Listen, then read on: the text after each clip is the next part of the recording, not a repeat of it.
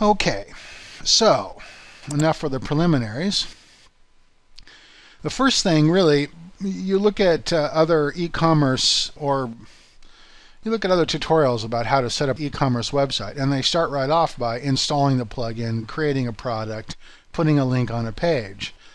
Unfortunately, while that makes the tutorial nice and fast to teach, and it's a relatively understandable process, it's not really a good way to start building an e-commerce website. The best way to start building an e-commerce website is first to sit down and map out its organization because good site organization really matters. It matters because, well, for a couple reasons. One, because it makes it easier for your customers to find your site. And this may not seem obvious to you, but it will be as we work our way through this. Good site organization means or makes available to you good SEO and good semantic URLs. And it's that good SEO and good semantic URLs that will make your site more easily found by your customers. Secondly, it also makes it easier for your customers to find the right product when they're on your site. And so we are striving in this case in for a couple of principles. The first one is simplicity. We are looking to create a very simple organizational system for our products that people can intuit and that people can get to quickly and easily. Which means that just because it's possible to organize something by something else doesn't mean we ought to. And so, for example, you could organize your products by price. But given the circumstances, we're not going to have product organization by price. You're not going to be able to look at a list of the products from highest to lowest because that's not a useful method of looking at or organizing a set of products. We're looking for simplicity. And that simplicity ends up then limiting the choices. And limiting the choices is actually very good. The reason why you want to limit the choices is because you do a better job of selling your products.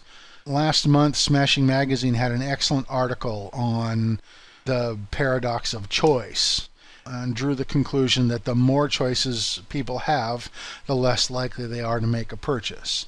And so we are working on simplicity in order to make this an effective site.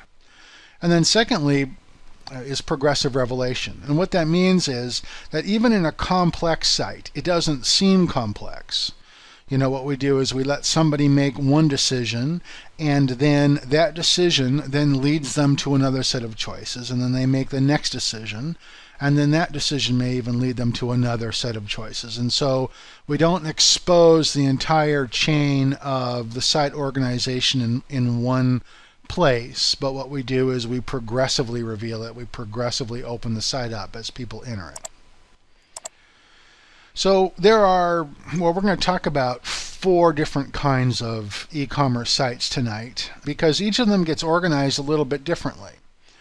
You know, the first kind is just a small store. Say you've got one to ten products you know, in that case, your, the organization of your store is unlikely to control the organization of your site.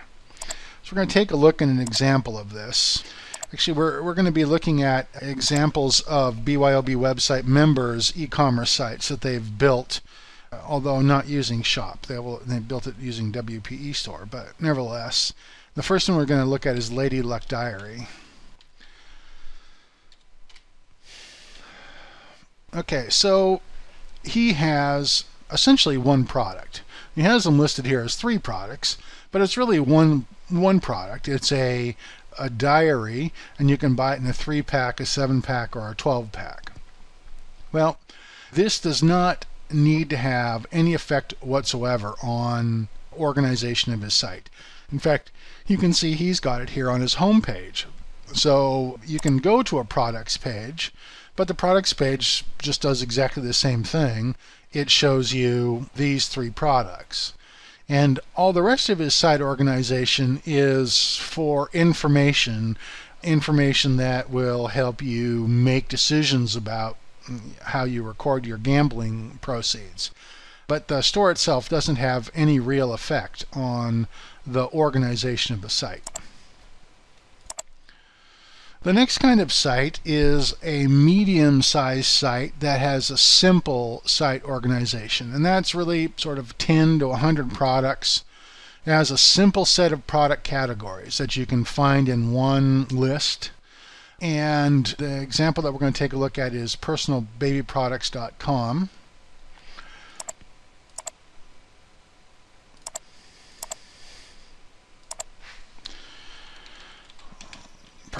personalbabyproducts.com. Okay, so in his case, he has two lists of products. You know, you hover over products one, and here are his one set of product categories, and you come over here, and here is another set of product categories. You click on one of those product categories, and you get to all the products that are inside that category. So it's very simple. There's there you don't drill down is not complicated. You can just simply go down and click on rompers and presto changeo oh, there you are at rompers. And so the the organization of this site is is very simple and straightforward. Now, so in his, this case, customers can browse the products by category. And also, the main catalog page should probably be a product category page which is not something actually that he has. You know, if you his he doesn't actually have a main catalog page that has all of his products. He ends up actually having two catalog pages. Products 1 having you know his type of products in under his products 1 group and then products 2 as a type of products under his products 2 group but he doesn't actually have a main catalog page but I'm going to suggest to you that you really want a main catalog page that shows each of your product categories. And then the store really needs to have a nice, fast, simple drill down.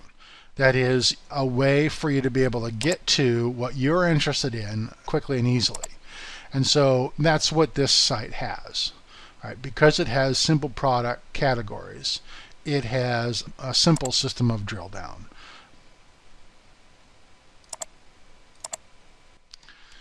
So the next level of complexity is the medium-sized complex store. And, and in this case, you're going to have 50 to 150 products, something like that.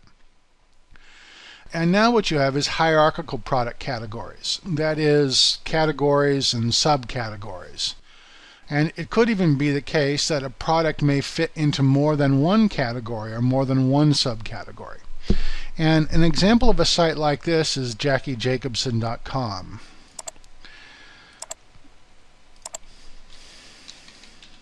There we go. Now, Jackie's site, Jackie's site has five big categories of products. She's got tile art, tile and art glass, canvas art, art prints, note cards, and original artwork. And so uh, she's got these five big categories. And then if you select on one of her the next category or on one of those big categories then you see the subcategories under it. So under tile and glass art she's got art coasters and cutting boards and glass cutting boards and coaster sets and fruit coasters and and then art murals and that sort of thing. And so and so she's got all these subcategories. And then under the subcategory once you click on one of those subcategories you get all the products that are potentially available inside of that subcategory. Now, in this case, then, the home page has like a page that's similar to a department directory, right? Where she's got her five departments or her five main categories. And then clicking from there, you'll go to the next department, or you go to the actual department page or the actual category page itself, which then displays its subcategories and then each of those subcategories displays its products. And, and this is what I mean by progressive revelation. That is, you don't get to the blueberry glass coaster from the front page. You work your way through by successively stepping through these essentially category menus, although they're pages displaying the products. And as you step through that, you get closer and closer to the product. This has a, a more complicated drill down. There isn't a nice straightforward you know, hover over something and click on a product like there is in the other project. In fact, she doesn't even have drop downs because of that. So if you go to art prints, for example, here are her two categories of art prints, and she doesn't have a lot of things cluttering her menu by dropping down off of that. Okay. And so the next one then is a large complex store. And I'm not going to show you a specific example of a large complex store, but you can you understand the concept, right? The product categories are hierarchical, and you're going to have lots of product categories and subcategories. So you could think of REI.com or Nordstrom.com or any of these other large stores that sell lots of different products and lots of subcategories within those products. And you know you're not going to get to men's hiking boots in at REI until you get to you know men's apparel and then footwear and then hiking boots. And that's the that's the same kind of an organization that would happen with in this case if that was the kind of store you had